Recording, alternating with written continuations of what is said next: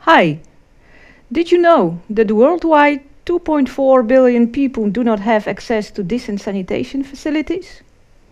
Due to this, 940 million people still practice open defecation. Moreover, 80% of untreated wastewater containing human excreta ends up in the environment. As a result of these two factors, 1.8 billion people drink water that is polluted with pathogens from fecal matter. This has devastating consequences. Nearly 1,000 children die each day from preventable diarrheal, water and sanitation related diseases. So proper sanitation facilities are crucial for human and environmental health. In this video, we will look at the end of the water chain as I will introduce you to fecal sludge management. At the end of this video, you will know that a proper sanitation system is not only the toilet, and that thinking along the whole sanitation chain is key in establishing safe, affordable, and even profitable sanitation systems for communities in cities like Kampala. In 2000, world leaders adopted the UN Millennium Declaration and defined the Millennium Development Goals. With this, they strove to reduce factors causing poverty around the world. This included Target 7C, which was the commitment to halve the proportion of people without access to sufficient drinking water and sanitation before the year 2015. Millennium Development Goal number 7C was partly achieved by providing individual and communal toilets together with simple collection and only partial treatment systems such as pit latrines or septic tanks. While these measures already reduce the transmission of diarrheal diseases, they are not sufficient. Pit latrines or septic tanks store, accumulate and only partially treat human excreta, leaving a significant fraction of harmful constituents. So a new problem arises, how to deal with the collected, still polluted fecal sludge when the storage capacity of those containments is exceeded. Proper management of accumulated fecal sludge is critical in achieving true access to safe sanitation. This is a challenge faced by many rapidly growing cities in the global south, such as Kampala, where pit latrines are the prevailing form of sanitation, especially in the urban unplanned areas.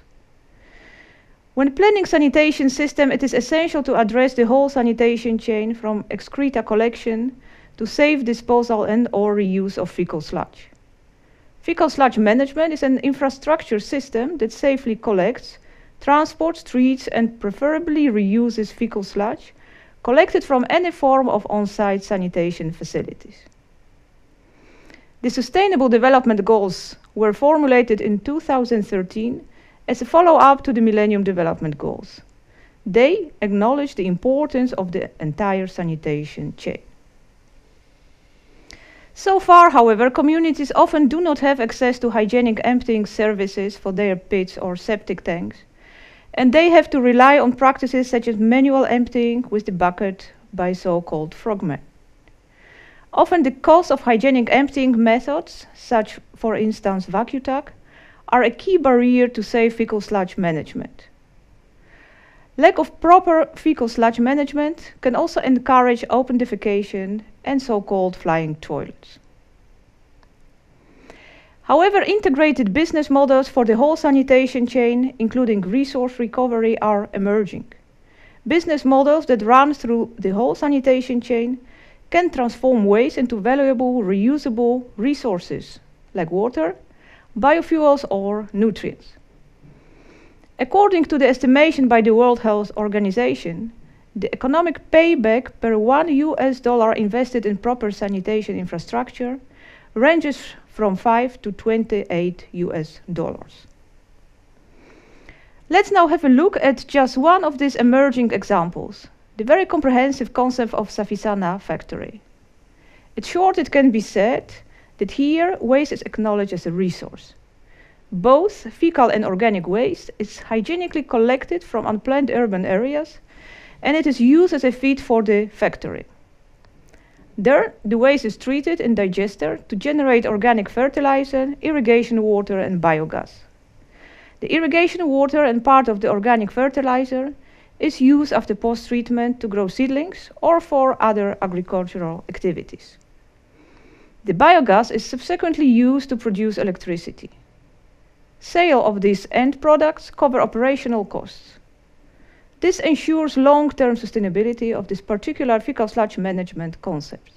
Benefits for the citizens are multitude, introducing hygienic containment and further treatment of fecal matter, providing dignity and safety, especially for women, resource recovery and local entrepreneurship. So with this video, I have shown you that a proper sanitation system is not restricted to the toilet, but fecal sludge management should be a part of each sanitation solution. This is not only important from a human and environmental health point of view, but by including fecal sludge management and resource recovery as a part of sanitation solution, the collected material gets a value. In this way, hygienic pit or septic tank emptying and processing become more affordable and at the same time profitable for communities in the unplanned areas of rapidly growing cities in the global south.